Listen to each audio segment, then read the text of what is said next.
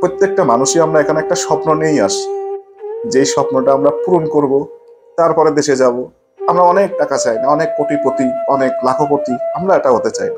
কারণ আমরা মধ্যবিত্ত পরিবারের মানুষগুলো। অন্য বাড়িতে গিয়ে কামলা দিতে পারি না। হ্যালো, আসসালামু আলাইকুম। আশা করি সবাই ভালো আছেন। তো আজকে আমি যে কথাগুলো শেয়ার করব আপনাদের সঙ্গে, জানি না কার জীবনের সঙ্গে মিলে যাবে।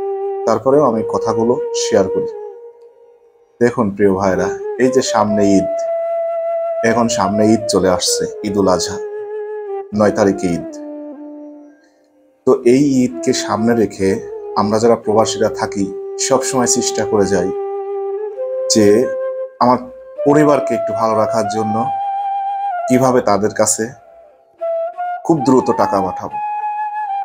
কিন্তু এই স্বার্থপর দুনিয়ায় আমরা যারা প্রবাসে থাকি, এই যে সিলেটে যেমন বন্যায় কবলিত মানুষগুলো যেমন জীবনযাপন করতেছে, ঠিক কিছুটা হলেও আমরা যারা প্রবাসে থাকি, অনেক কষ্টে জীবনযাপন করছি আমাদের বর্তমান সময়ে, যারা বিশেষ করে যারা সৌদি আরবে আছে, হয়তো অন্যান্য দেশেও থাকতে পারে।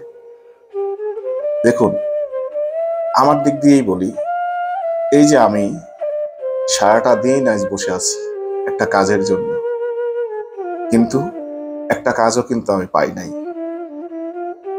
কেন বসে আছি? নিজের পরিবারকে টাকা দেব সামনে ঈদ নিজের বাড়ির হয়তো বাচ্চারা আছে মা বাবা আছে, স্ত্রী, সন্তান, সবাই চেয়ে আছে, যে কখন টাকা পাঠাবে, তারা অপেক্ষায় আছে। কিন্তু দুর্ভাগ্য আমাদের, আমরা যারা নতুন পুরাণ অনেকেই আছি সৌদি আরবের মাটিতে, যে কাজ নাই। নানান রকম নানান সমস্যার মধ্যে দিয়ে আমাদের জীবন যাচ্ছে বর্তমান সৌদি আরবে। কারোর বাড়িতে কেউ লোন করে আসছে, কিস্তির টাকা দিতে পারতেছে না। আমার এমনও ভাইয়েরা আছে, এমনও বোনেরা আছে, আমাকে ইমুতে কল দিয়ে বলে, ভাই, আমার পরিবারে কখনো আমার বাচ্চা দুটো শুধু আলু ভর্তা বা ডাউল ভর্তা দিয়ে ঈদ পার করে নাই। কিন্তু ওনার বা ওনার বাবা যখন অনেক টাকা ঋণ করে যখন ওনার বাবাকে আমরা বিদেশ পাঠাই, আজ আমার পরিবারটা এত বিপদের মধ্যে আছে, আমার বাচ্চাদের নিয়ে আমি এত কষ্টে আছি। যদি আমার হাজবেন্ডকে একটা কাজের ব্যবস্থা যদি করে দিতেন ভাইয়া, তাহলে আমরা আপনার কাছে চিরকৃতজ্ঞ থাকব। এইরকম হাজারো বোন, হাজারো ভাই আমাদের কাছে কল দেয়। আমরা যারা পুরান প্রবাসী সৌদি আরবে থাকি। কিন্তু দুঃখের বিষয় একটা, দেখুন এখানে যদি কখনো কোনো ভাই আমার কাছে একটা কাজের জন্য আমার পেজে যদি একটা অ্যাপ্লাই করে বা নাম্বার দেয়, তো ওই ভাইকে ফোন করে সেই কাজের গন্তব্য নিয়ে যায় বা সেখানে ডেকে নিয়ে যায়। নিয়ে যায় কী দাবি করে জানেন? প্রথমেই বলে, আমাকে টাকা দিতে হবে। দুই হাজার বা তিন হাজার বা চার হাজার বা এক হাজার টাকা দিতে হবে। তখন আমাদের কষ্ট লাগে। তখন আমাদের কষ্ট লাগে যে আমি একটা ভাইয়ের কাছে কাজের জন্য আসছি। আমার কাছে নয় টাকা। এটা কাজের খোঁজ। এই তো, একটা কাজের খোঁজ খোঁজ দেওয়ার জন্য, খোঁজ দেওয়ার জন্য কি আমাকে টাকা দিতে হবে? আর আমি কোথায় পাবো এই টাকা?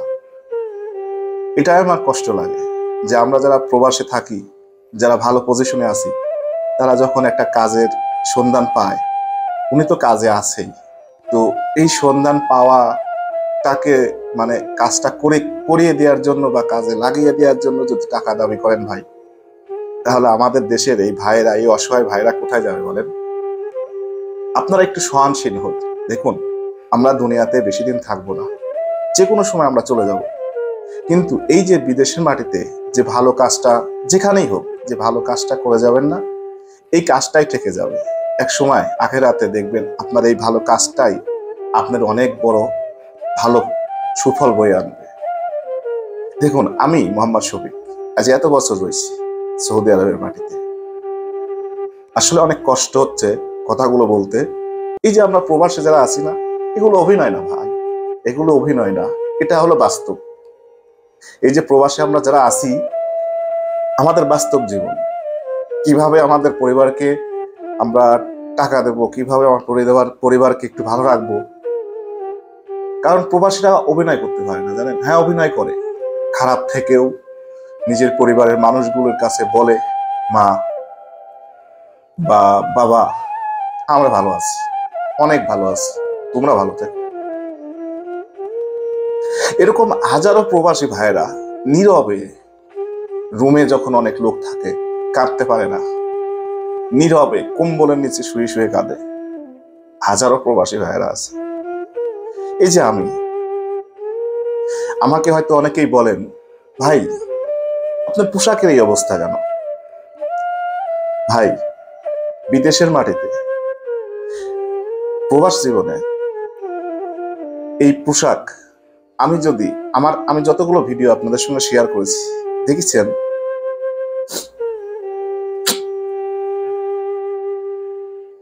একই রকম পোশাক। কারণ বর্তমানে আমাদেরকে অনেক টাকা দিয়ে থাকতে হয় এই প্রবাসে, অনেক টাকা দিয়ে। একামা বলেন, রুম ভাড়া বলেন, কারেন্ট বিল বলেন, বাজার বলেন সব কিছু দিয়ে আমাদের অনেক টাকা গুনতে হয়।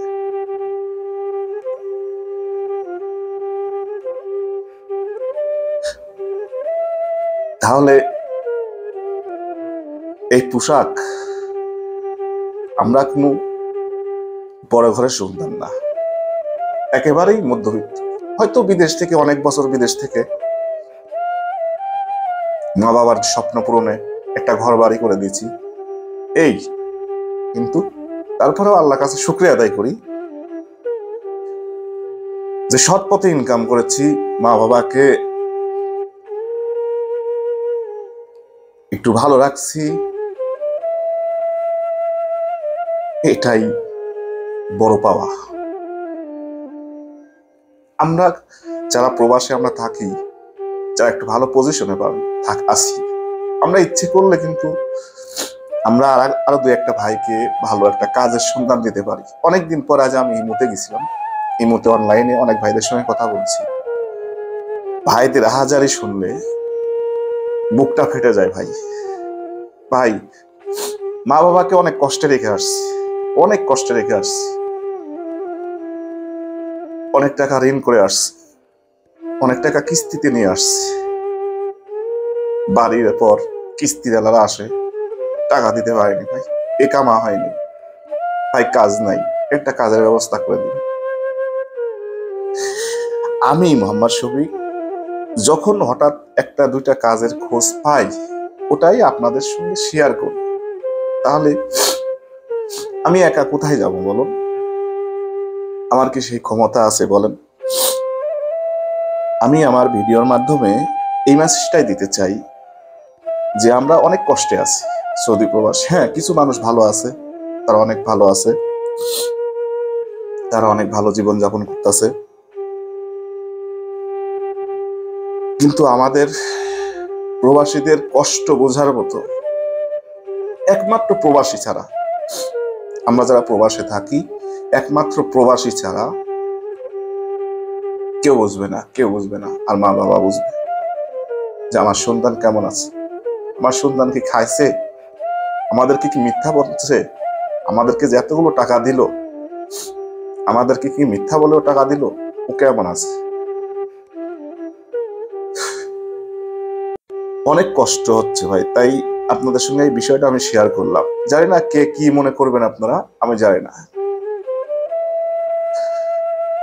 আমাদের একটু সহনশীল হওয়া উচিত।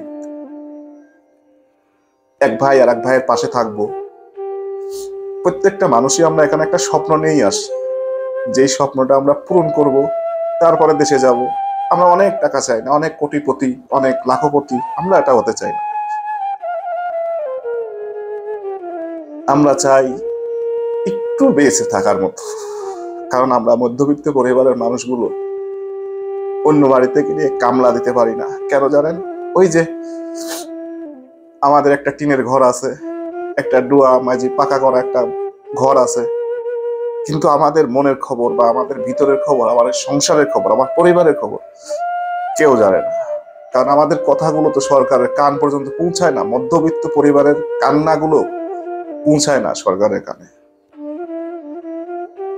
তাই আমি একটা কথাই বলব, আমাদের জন্য দোয়া করবেন। আমরা যারা প্রবাসে থাকি, আমাদের জন্য দোয়া করবেন। আর আমাদের প্রবাসী ভাইদের, এক ভাই আর এক ভাইয়ের প্রতি সহনশীল হবেন। টাকা নেবেন না ভাই। একটা ভাইকে কাজ দেওয়ার বিনিময়ে টাকা নেবেন না ভাই। এটা করবেন না ভাই। একটা পরিবারের, একটা মানুষ, একটা পরিবার যখন অনেক কষ্টে থাকে, তাহলে সেই পরিবারটা হয়তো আপনিও নতুন কালে এক সময় এরকম ছিলেন। সেই জানে, আর কেউ জানে না। অনেক কষ্ট নিয়ে কথাগুলো বললাম। যদি আমি ভুল ত্রুটি করে থাকি, আপনাদের কাছে ক্ষমা দৃষ্টি দৃষ্টিতে দেখবেন।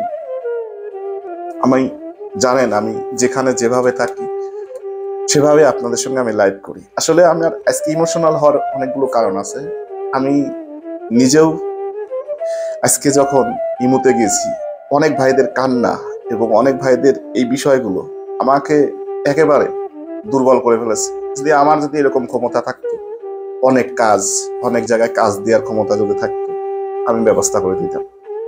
সবাই ভালো থাকবেন, সুস্থ থাকবেন। আমাদের আল্লাহ ছাড়া কেউ নেই। আল্লাহ পাকের উপর ভরসা রাখবেন, পাঁচ নামাজ পড়বেন। ইনশাল্লাহ আল্লাহ আমাদেরকে দেখবে।